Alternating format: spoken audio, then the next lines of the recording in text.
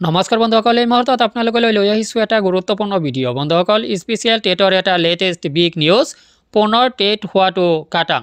কিন্তু কেতিয়া হ'ব পুনৰ টেট?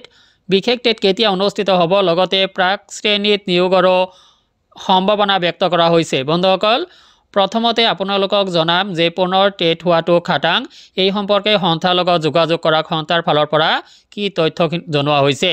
বন্ধুসকল পুনৰ টেট অনুষ্ঠিত হোৱা সম্পৰ্কে বা স্পেচিয়েল টেট সম্পৰ্কে বিভিন্ন ধৰণৰ খবৰ আহৰণ কৰিবলৈ মই অহৰহ চেষ্টা কৰি থাকোঁ আৰু আপোনালোকক নিয়মিতভাৱে জনাই থাকিবলৈ চেষ্টা কৰোঁ। আৰু সেই সংক্ৰান্তত বিশেষ টেট সম্পৰ্কে ই বি সন্থাৰ মাননীয় প্ৰেচিডেণ্ট মহোদয়ক মহোদয়ৰ লগত যোগাযোগ কৰা তেখেতে জানিবলৈ দিয়া অনুসৰি পুনৰ টেট অনুষ্ঠিত হোৱাটো এক প্ৰকাৰ খাটাং।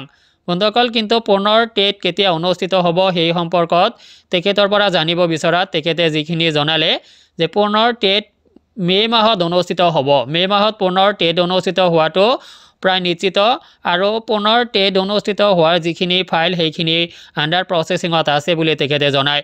বন্ধুসকল তেখেতে আৰু কিছু গুৰুত্বপূৰ্ণ তথ্য জনায় যে বিশেষ টেট পুনৰ অনুষ্ঠিত হ'ব আৰু বিশেষ টেটত কিছু বিশেষ সুবিধা পাবৰ কাৰণেও তেখেতসকলে পূৰ্ণগতিত চেষ্টা অব্যাহত ৰাখিছে বুলি জনায়।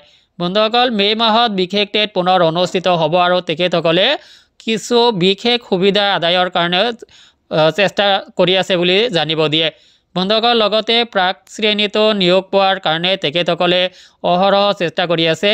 কিন্তু বন্ধুসকল ইতিমধ্যে আপোনালোকে গম পায় যে প্ৰাক শ্ৰেণীত প্ৰাক প্ৰাথমিক শ্ৰেণীত অংগনবাদী কৰ্মীসকলক আৰু হেল্পাৰসকলক প্ৰশিক্ষণৰ জৰিয়তে উন্নীতকৰণ কৰিব বুলি শিক্ষামন্ত্ৰী ডাঙৰীয়াই ঘোষণা কৰিছিল।